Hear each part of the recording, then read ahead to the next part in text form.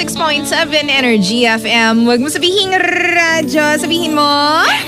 Oy, baby ko ha, ang oras natin sabihin kaploan. 6 minutes after 2, 2.06 on the clock. Siyempre, di may panggat. At, uh!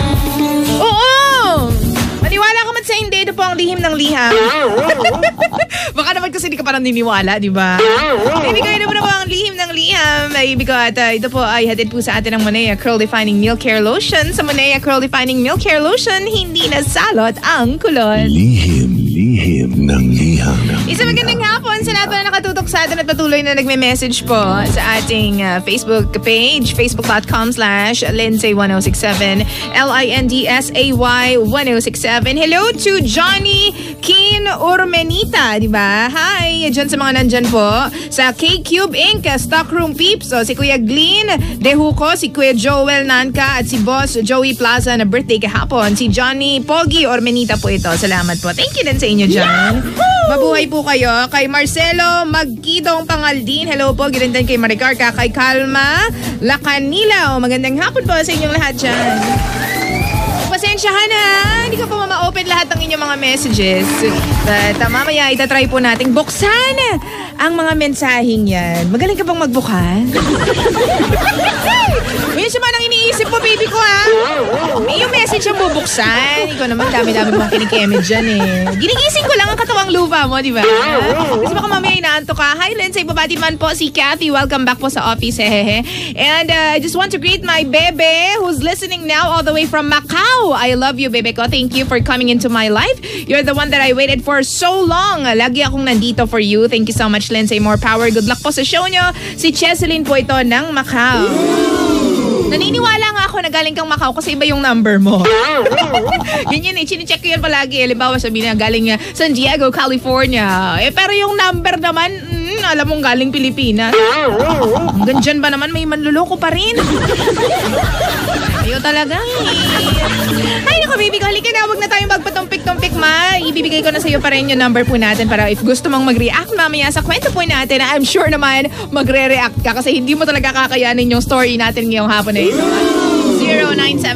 0977-7178-186. Again, 0977-7178-186. Halika na, baby ko. Lakasan mo na ang radyo mo at syempre ayusin mo na ang earphones mo kung talagang naka-earphones ka dahil, baby, ito na po ang lihim ng liham. Liham ng liham ng liham ng liham.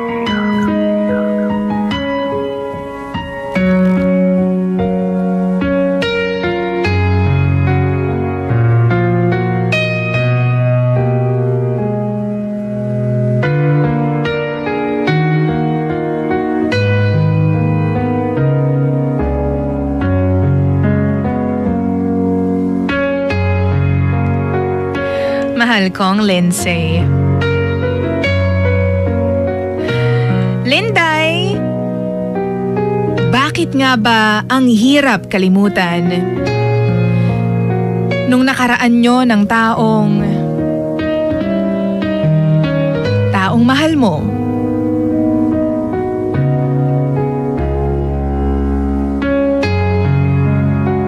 Pangga, tama nga bang banggitin ang mga salitang mahal kita? Kung sa bawat galaw mo, alam mo na nagtataksil ka sa kanya. Paano ka magpapaalam ng tuluyan sa taong una mong minahal? Pangga, tawagin mo na lang akong Georgina. Gusto ko lang i-share ang kwento ko. Yung kwento naming dalawa ng lalaking unang nagpatibok ng puso ko. Lindsay, siya si Eric. Bilang kasangga niya sa lahat ng bagay noon, nakita ko kung paano namin hinarap ni Eric ang buhay. Best friends kami for life. Yan ang sabi niya. Naghihintayan kami sa school, naghihiraman ng mga gamit tulad ng mga t-shirt, at minsan, pati pabango. Mahilig din kami pareho maglaro ng online games kapag weekend. Pangga, wala kasi akong kapatid. Si Eric naman, adopted child. Wala rin siyang kapatid kaya nagkasundo kaming dalawa. Sa sobrang closeness namin, Lindsay, alam ko kung paano siya ma-in love. In fact, ako nga yung dahilan kung paano sila nagkakilala ng girlfriend niya noon. Si Elaine. Kaklase ko noon si Elaine sa NSTP class. Naging close kami dahil pareho kaming late kung pumasok. Dahil doon, sabay kami laging pinag explain ng prof kung bakit pasaway kaming dalawa. Pareho kami ni Elaine ng reklamo. Pareho din kaming baliw at paulit-ulit na nagiging sakit ng ulo ng professor na yon. Kaya nagkasundo rin kaming dalawa.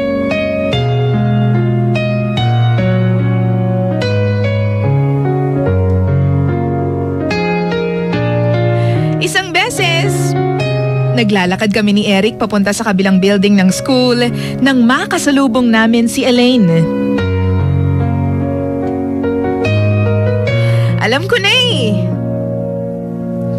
Unang tinginan pa lang nila, ramdam mo na. Alam mo na pareho silang attracted sa isa't isa. Malagkit yung eye-to-eye contact nila. Tapos nung nag-smile na si Eric, lumabas yung mga dimple niya. Hindi naman basta-basta ngumingiti yun eh. Kapag ngumiti yun, ibig sabihin sobra-sobra yung saya niya. Kaya alam ko na nun. Ramdam ko na. Ramdam ko na may chance na ligawan ni Eric si Elaine. At Lindsay, hindi naman ako nagkamali. Nangyari nga. Walang ginawa yung kaibigan ko kundi guluhin ako tuwing hapon para magkita sila ni Elaine. Gumagawa naman ako ng paraan. Kahit deep inside, sasaktan ako. Siguro, hindi ako sanay na may ibang pinapansin na babae yung best friend ko.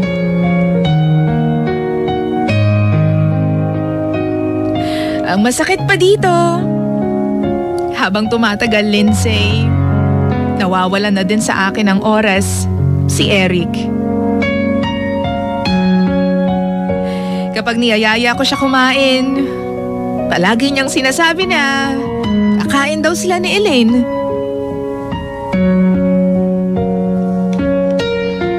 Kapag weekend naman, hindi ko na makasama maglaro ng video games kasi nandun si Elaine sa bahay nila. Pero sa totoo lang, Lindsay, perfect nilang dalawa. Perfect sila magkasama. Halos magkamukha na nga sila eh. Si Georgina? Ako? Ayun. Nawala na sa buhay ng best friend ko.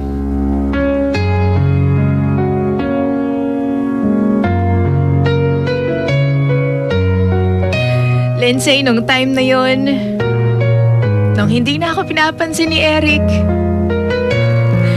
nung para bang baliwala na ako, lumakad na ako mag-isa. Nag-decide na akong magsarili.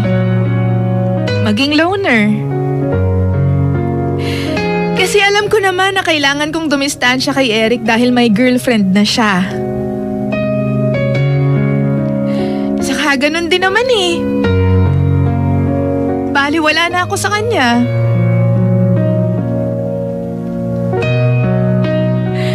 Pakiramdan Lindsay. Nawala na agad yung best friend ko. Ang bilis-bilis, no?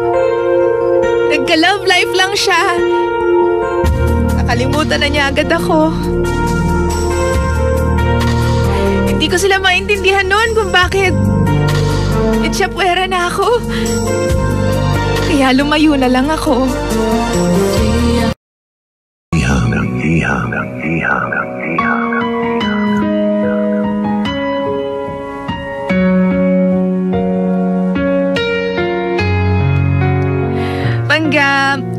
Unti-unti kong sinanay ang sarili ko na mag-isa.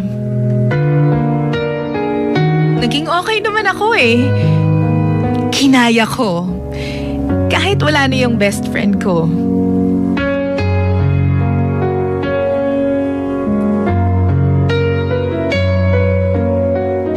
Mukhang nakiaya naman sa akin ang pagkakataon.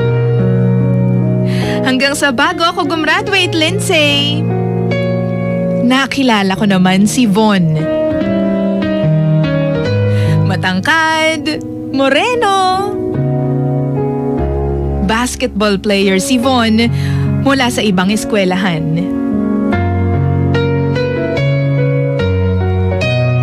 First time kong kiligin.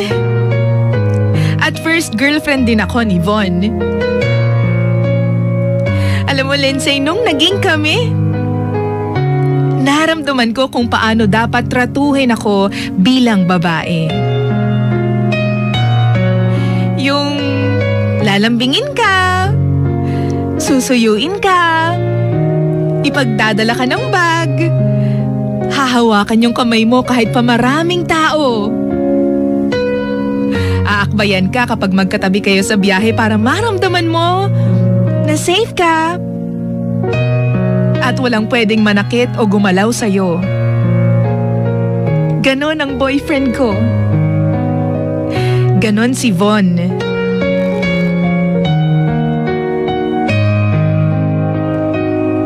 Lindsay, ibang klaseng saya din yung ipapakilala ka sa mga kaibigan at pamilya niya bilang girlfriend niya. Ngayon ko lang kasi naramdaman yun eh. At sobrang sarap sa pakiramdam.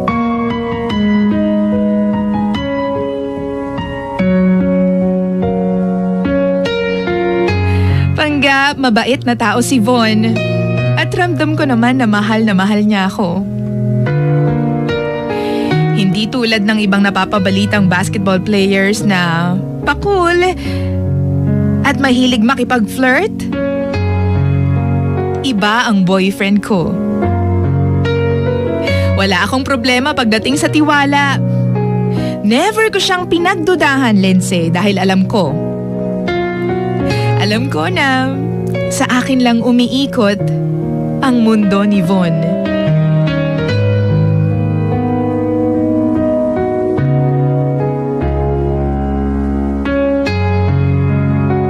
Ang daming nangyari sa buhay ko noon, Lindsay. At kahit gaano ko gustong ikwento yun lahat kay Eric, sa best friend ko, hindi ko naman magawa. Hindi na naman kasi kami nag-uusap o di kaya nagkikita lalo pa. At after graduation, eh nagkanya-kanya na kami ng buhay.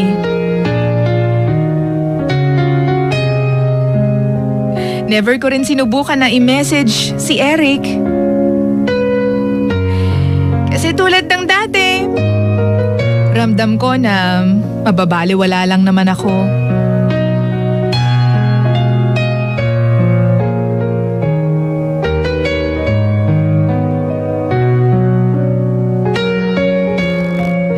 Kaya Lindsay, umabante na ako sa buhay ko kasama si Von. Naging mas seryoso kaming dalawa sa relasyon namin. Hanggang sa nagkaroon pa nga kami ng napaka-cute na baby. Si Baby Shy. Blessed din kami, Lindsay, dahil after ilang buwan, mula nung sinilang si Baby, eh natanggap naman sa trabaho sa abroad si Von. Magkahalong saya lungkot, Lindsay, ang naramdaman ko. Masaya dahil hindi kami mahihirapan sa buhay pamilya namin financially. Pero malungkot din kahit papano. Dahil hindi ko palaging kasama ang asawa ko. Pero kaya yan!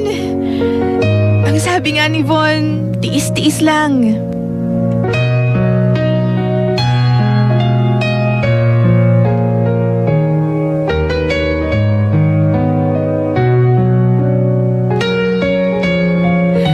Pinost ko lahat ng pictures sa Facebook ng mga nakako.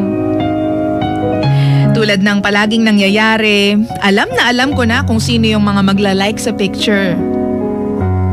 Yung mga kamag-anak ko at mga kaibigan back in college at saka high school.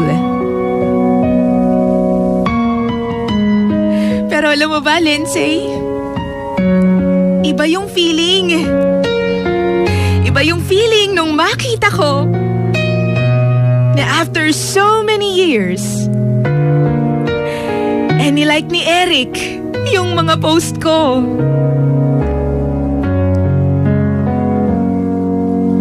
Hindi ako mapakali nun.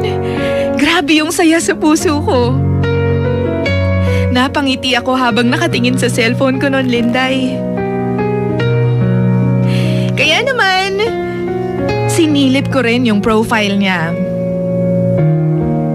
Nalaman ko na single na pala siya at hindi pa rin siya nagbabago. Mukha namang stable na siya sa trabaho niya. Pangga, ni-like ko yung isang photo niya para lang malaman niya na nandito pa rin ako.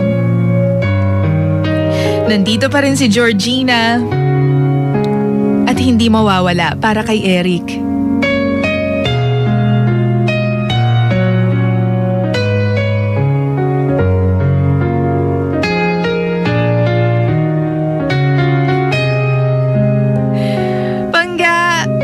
Pakiramdam ko tama naman yung ginawa ko. Kasi doon na nagsimula yung muling pag-uusap naming dalawa. Nung una, chat lang. Konting kwentuhan. Hanggang sa may mga oras na tinatawagan na ako ni Eric. Hindi ko talaga alam kung bakit pero sobrang saya ko sa bawat minuto na naririnig ko yung boses niya. Gusto ko siyang makita. Gusto ko siyang yakapin. Pero gusto ko rin linawin sa sarili ko kung kaibigan lang nga ba talaga ang feelings na to. Kasi parang... Parang naguguluhan na ako eh. Alam ko naman na mali. Alam ko na hindi tama.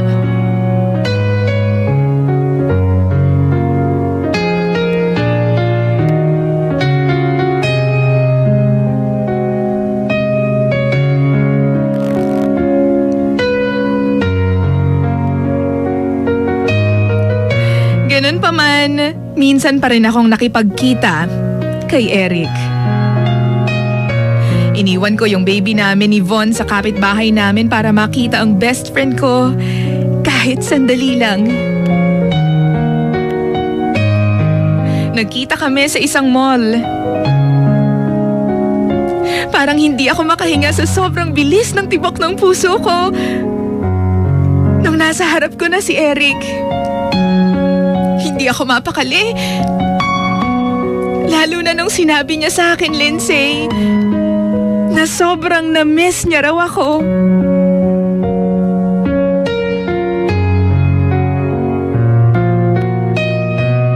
Nagkakwentuhan kaming dalawa. Nalaman ko na naghiwalay sila ng dati niyang girlfriend three years ago dahil hindi na sila magkasundo. Namimiss niya raw kasi palagi yung kulit ko. Yung mga trip naming dalawa. Hangga tinanong niya rin ako kung... kung bakit bigla akong nawala.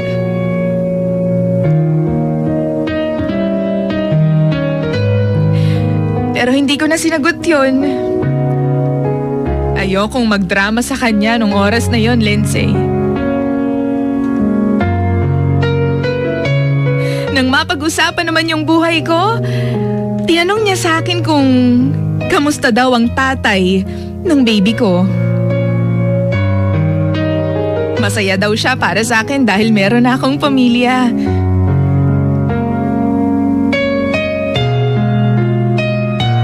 Pero Lindsay, ewan ko kung, kung anong sumanib sa akin nung oras na yun.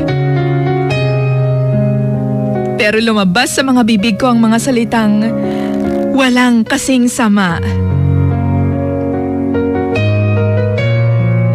Pangga, nagsinungaling ako kay Eric.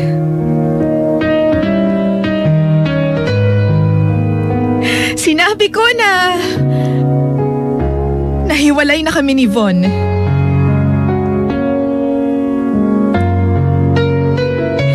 Sinabi ko na hindi naging mabuting asawa si Von sa akin.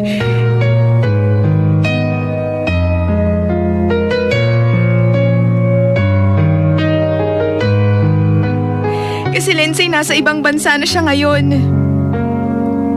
At sinabi ko rin kay Eric na hindi ako sinusuportahan ni Von. Hindi niya kami sinusuportahan ng mag-ina ko. Nagsinungaling ako.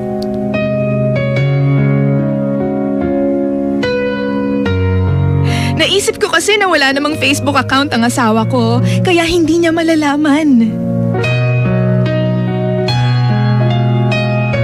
Oo. I betrayed my husband. Kasi Lindsay, una kong minahal si Eric. Matagal ko na siyang mahal. Simula pa sa umpisa. Hindi ako nagkaroon ng chance na sabihin sa kanya. Kasi naman, kasi kaibigan lang yung tingin niya sa akin. Nagawa kong magsinungaling pero hindi ko sinasadya. Ngayon hindi ko na alam. Basta sigurado ako na mahal ko si Eric. Bakit ngayon?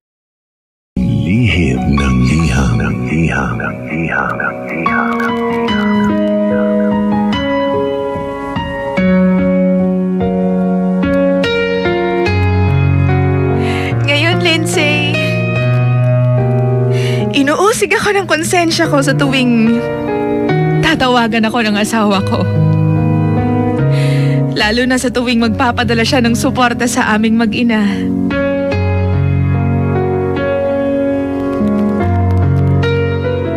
Sa tuwing nagpupuyat siya doon sa ibang bansa para lang marinig ang boses ko. Makita ko, pati na yung baby namin.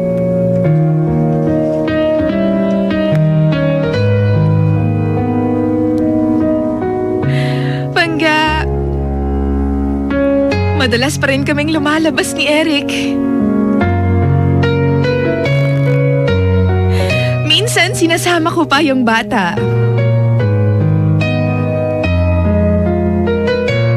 Although never niya naman sinabi sa akin, Lindsay, kung talagang meron ba siyang pagtingin sa akin. Kahit konti lang.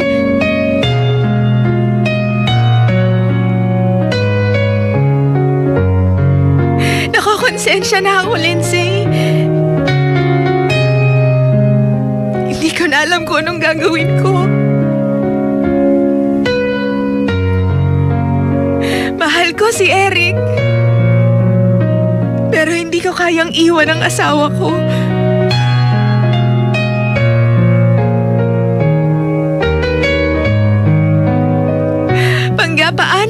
Aayusin ang kasalanan ko habang hindi pa alam ng asawa ko? Habang wala pa siyang kamalay-malay. Ayokong lumalato. Ayokong magkagulo ang lahat dahil mahal na mahal ko rin si Von. Pero Lindsay, ayoko din na maling iwan ako ni Eric.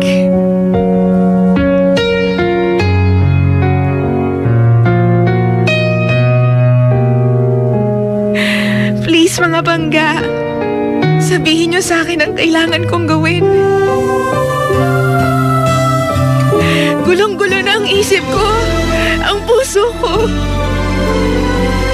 Mahal ko silang dalawa.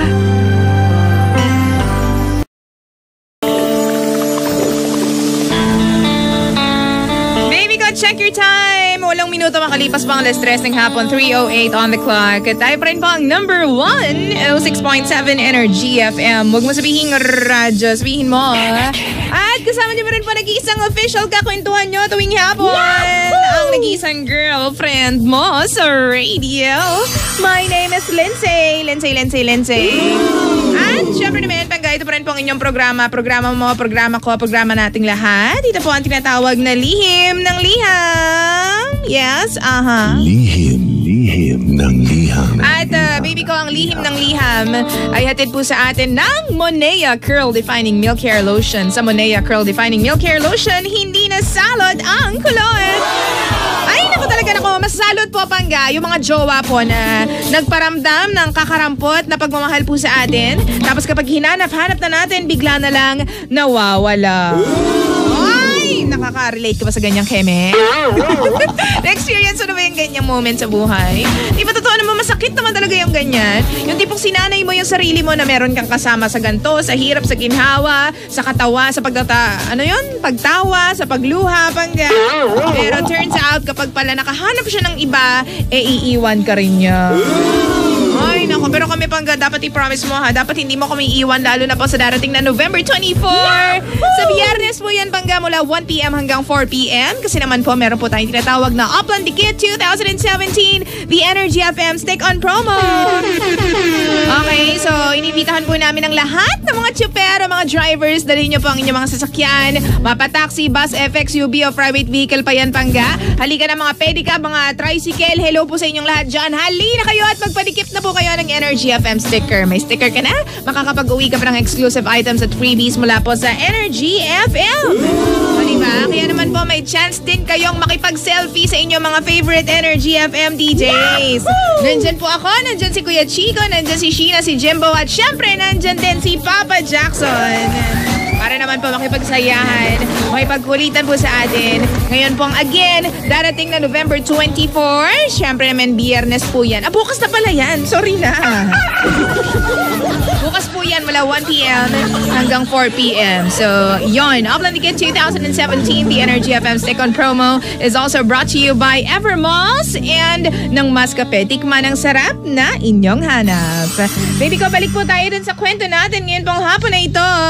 Lihim, lihim ng liham. Ano ba ang gagawin mo, ha? Naku, gugustuhin mo bang mapapunta doon po sa sitwasyon ng ating letter sender ngayong hapon na ito? Ay, nako, nakakaloka lang talaga, di ba? Ako, kala ko nung unang pagkabasa ko ng letter, it's another best friend thingy na nag-turn into something romantic. Ganyan po yung naging kemi nila sa buhay. Pero hindi pala.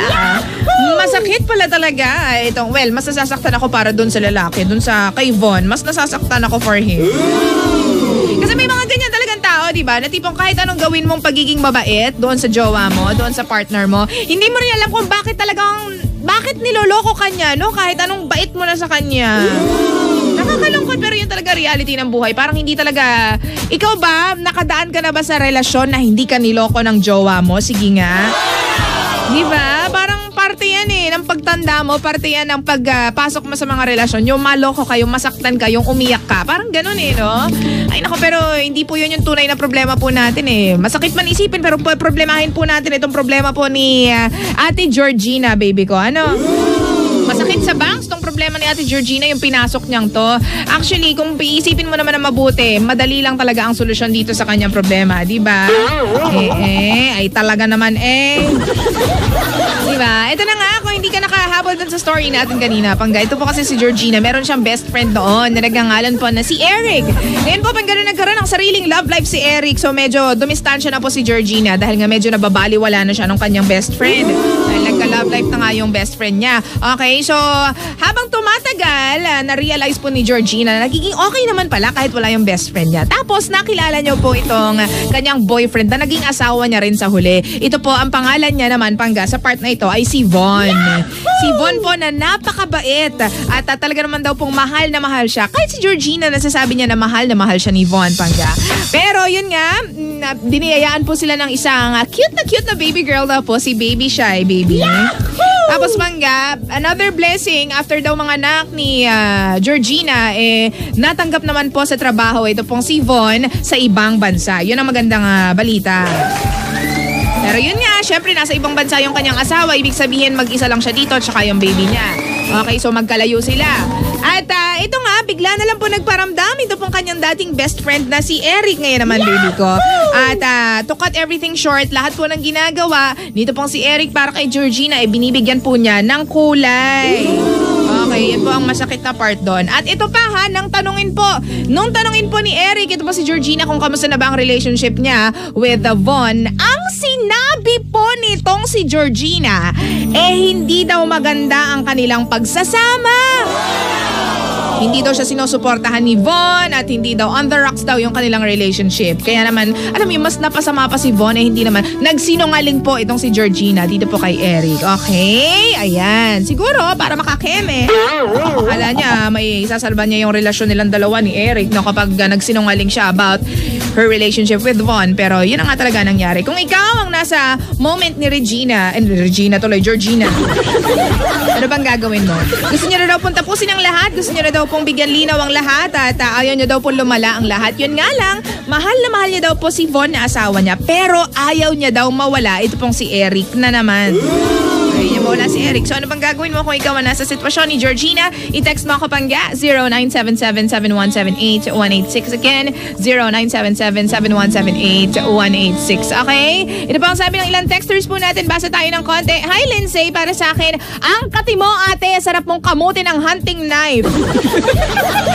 Uy, asawa ka na, makontento ka na sana. Hindi yung kailan na namamangka ka sa dalawang ilog. Sana malaman ng asawa mo para matauhan ka. Mati naman po sa mahal kong asawa na si Liza Bello. Si Ver po ito ng uh, uh, isa pong grab driver. Salamat! Ang masasabi ko lang, Lindsay, kay ate, isang salita lang para di masira ang pamilya mo. Magpaka-totoo ka. O, di ba? Yan po ang sabi niya, ha? Yun lang. Magpakatotoo ka sa best friend mo, sabihin mo ang totoo. Kung kaibigan ka niya talaga, may intindihan ka niya. Isipin mo ang pamilya mo, anong meron ka ngayon. Hindi yung dati na meron ka. Layer arc po ito ng RSB Makati. Salamat! At ito pa, sabi pa dito, magandang hapon, Lindsay. Just want to advise uh, o give advice to Georgina. Huwag kang umasa kay Eric kasi minsan hindi niya sinasabi sa'yo na mahal kanya. Ang isipin mo si Von, may asawa ka, asawa mo yan, naghihirap na magtrabaho para sa inyong mag-ina. Move on with Eric. You have a husband and you're not single. Huwag ka na makipagkita kay Eric. O, di ba? Alang-alang sa family mo. You know. Tama na naman, di ba? Grabe talaga to si Ate Georgina eh. Ate Georgina, kung nakikinig ka ngayon, makinig ka sa mga comments ng mga panggapo natin ha, para masaya ang buhay. Para maayos mo kung ano man yung keme mo ngayon. Okay? Ang oras natin, 3.16 on the clock. At tayo pa rin po ang number 1, 06.7 Energy FM. Huwag mo sabihin radyo. Sabihin mo. Eto baby ko, text mo pa rin ako ha. 0977-71-78186. Oras natin sa Wing Kablukan. 3.43 na po ng nagmamagandang afternoon. Ang oras niyan, hatid po sa atin ng Panasonic. Enjoy wonderful moments at home with Panasonic Japan quality appliances. And of course, ng Silka, the country's number one beauty soap. Sa Silka, ang kutis ay paganda ng paganda ng paganda. Alagang papaya, alagang Silka.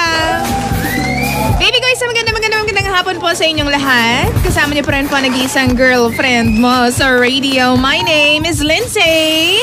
Ako pa nag-iisang kakwentuhan mo. Alam mo naman yan. Official kakwentuhan tuwing hapon pangga. There may be times na high blood si Lindsay sa mga kwento. Pero ako pa rin to. Alam mo naman ako, baby pa rin kita. And uh, si Linday pa rin ito, baby ko. Okay. Baby ko, welcome pa rin po sa lahat ng mga kakakinig pa lang. Well, patapos na po tayo. Kaya, pero kahit na gano'n, ito pa rin po ang lihim ng liham. Lihim, lihim ng liham. Nasa last and final stretch na po tayo ng ating programa ngayon pong hapon na ito. Yeah. Aha, pero don't fret, don't be sad, pangga. Ito na nga ha, ano nga ba ang gagawin natin kung ikaw ang nasa sitwasyon ng ating letter sender na si Georgina? Si Georgina na nagsinungaling sa kanyang ah, best friend slash gustong chorbahin, charot. Best friend slash loved, loved one. Tama ba? Eh kasi magulo eh. Best friend pero gustong gusto niya din yung best friend niya. To the point na nagsinungaling siya dun sa best friend niya na ang sabi eh, hindi daw siya sinusuportahan ng asawa niya. While in fact, sobrang suporta po ang binibigay ng asawa niya at ah, sobrang in good terms po sila ng asawa niya. Yon kumikeme itong si ate girl, si ate Georgina dahil nga gusto niya yung best friend niya. Nagsinungaling siya at pinalabas niyang masama yung asawa niya kahit hindi naman. Nakakaloka, ganyang setting sa buhay? So, ano magagawa mo? Ano ba masasabi mo kung ganyan ang uh, sitwasyon ng kaibigan mo o di kaya naman pangga ikaw ang nasa ganyang sitwasyon? What are you going to do?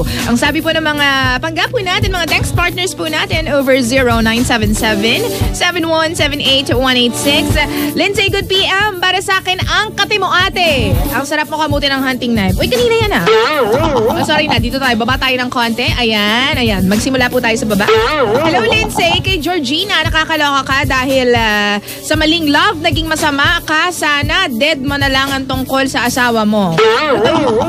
Oo. Oo. Dapat hindi mo na lang siniraan. Makakarma ka. Baka anak mo pang maging kabayaran. Iwasan mo na yung guy habang wala pang namamagitan sa inyong dalawa at ibigay mo na lang ang wagas mong pagmamahal sa asawa mo at anak mo. Thank you so much. Si Hansky po ito. Salamat, Hansky. Sabi naman, Hi, Lindsay. Pakisabi po kay ate, huwag siyang gumawa ng problema niya dahil unang-una, hindi naman sila ni Eric. Hindi naman siya nililigawan. Mag-focus ka na lang sa family mo. Kawawa naman ang asawa mong nagsasakripisyo sa ibang bansa. Kung ano-anong inaatupag mo, ginigigil mo ako dito sa mga taga-credit and collection ng CLC Marketing Ventures Corp from Nea, Mimi, Dayan, and Lani. Salamat! Magandang hapon sa inyo dyan. Georgina, itigil mo ng kalokohan mo. Kawawa naman yung asawa mo nagpapakahirap sa ibang bansa para sa inyong mag-ina. Huwag ka umasa kay Eric dahil minsan ka na niyang tinalikuran noon. Itigil mo ng kaharutan mo dahil isipin mo, hindi lang si Von ang niloloko mo kundi pati yung anak at sarili mo. Makontento ka na kay Bon dahil hindi naman niya kayo pinapabayaan mag-ina. Yun lang, salamat. Ay Energy Upanga, si Laika Madi po ito ng Valenzuela City. Thank you so much, Madi ng Valenzuela City. And uh, last but not the least, Pangga, iwasan mo na yung si Eric at pamilyado ka na. Mabait at napa, ang napangasawa mo. May sumanig ka pang nalalaman, di ba? Ah, hmm, ayoko basahin, hindi pwede. Kaya maaga pa lang gumising ka na dyan sa kahibangan mo bago mo pa man din na pagsisihan yan. PS, bebe ko Lindsay, pakitambal o pakitampal po ng alpombra yung sender ng magising. Gising naman, di ba? Si Jojo po ito. Listening all the way from Kuwait. Maraming salamat. At uh, hello din kay ah, George ng Sampaloc, Manila. Okay? Uy, si Lindsay naman. Di ba si Lindsay naman? Kemi natin sa buhay ngayong hapon na ito.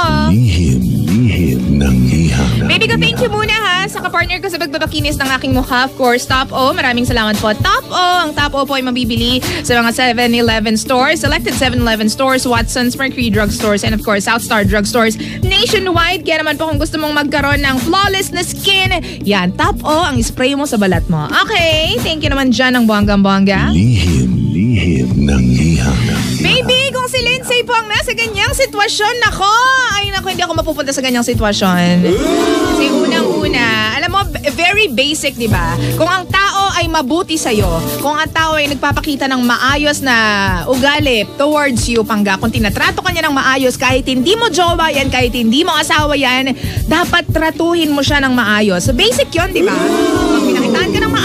Pakitaan mo rin ng maayos. Kasi mga tao tayo. Okay, meron tayong ganong dunong, ganon. Meron tayong ah, ganong part na pagiging rational, di ba? Actually, hindi mo nga kailangan maging matalino para po malaman na ganon dapat ang treatment sa taong mabait. Dapat mabait ka rin. Di ba no, baby?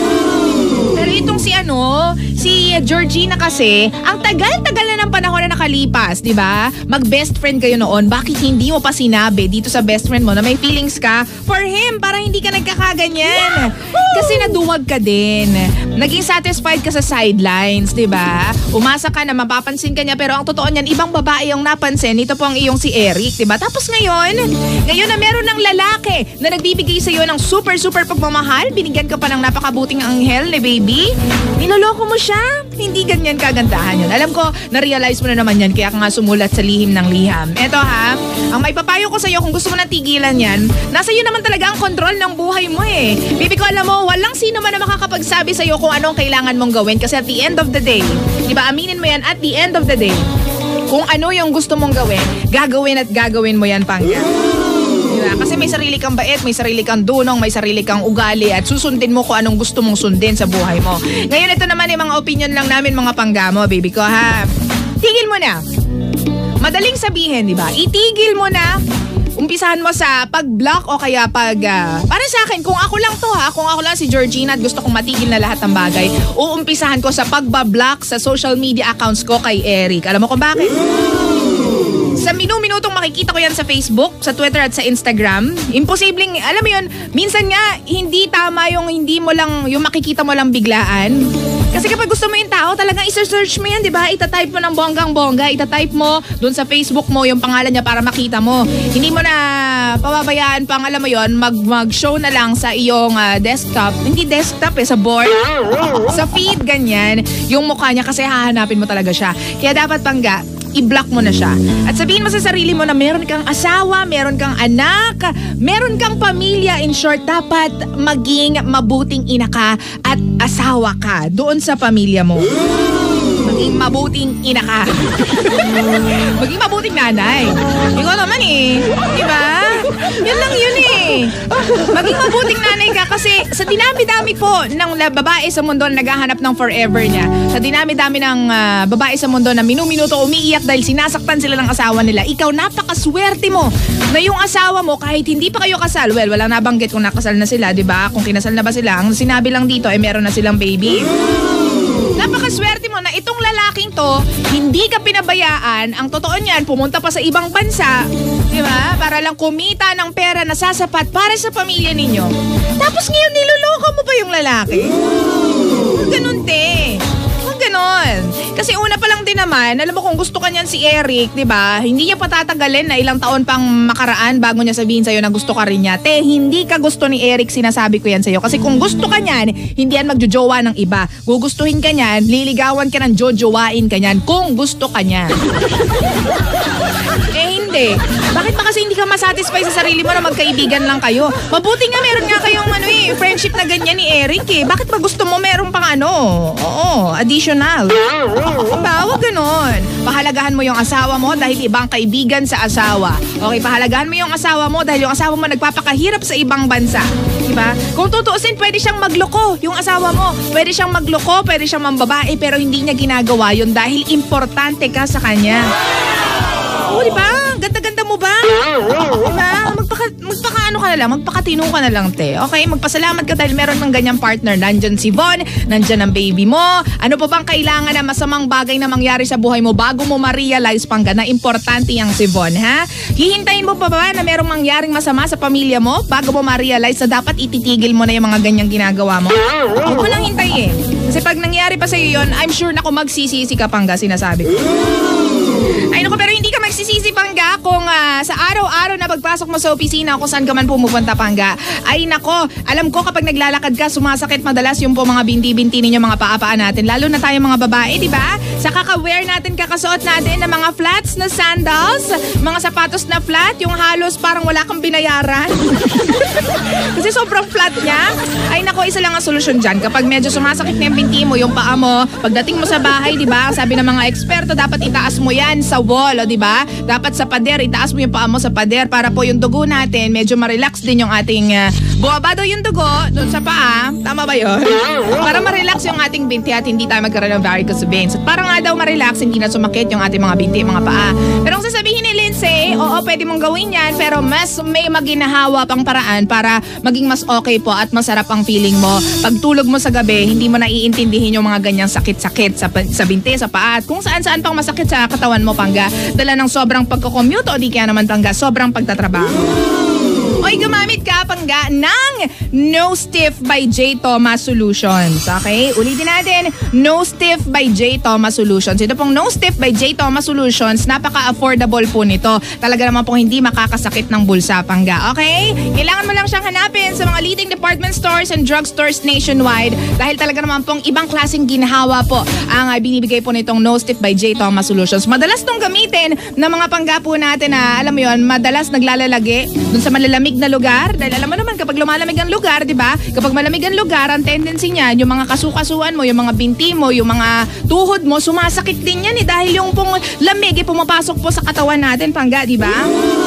kagandahan ng No Stiff by J. Thomas Solution. Sinusolusyonan na talaga yan, kaya nga solution.